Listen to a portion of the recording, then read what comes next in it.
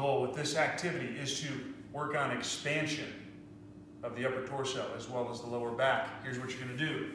You're going to be on knees and forearms. You're going to want your knees directly underneath your hips, your elbows directly underneath your shoulders. You're going to keep your chest roughly parallel to the ground. You're going to just gently push yourself up like this. You don't want to crunch. You want just a light push, just like so. You're also going to tuck your hips underneath you. Imagine someone's grabbing you by the back pockets, if I had them, and I'm pulling them down towards the knees.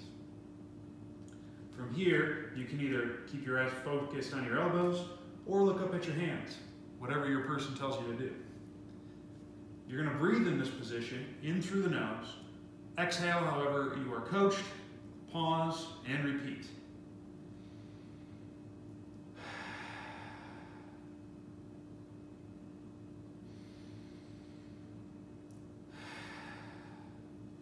If you want to kick it up a notch, Emeril Lagasse style. On the inhale, if you tighten your glutes as though you're holding in gas, that will actually enhance the stretching effect in the upper back. On the inhale, I'm going to do this glute squeeze. Exhale.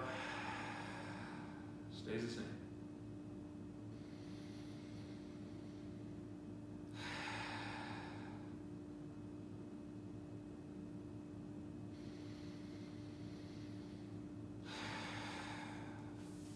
That's how it's done. Give it a shot.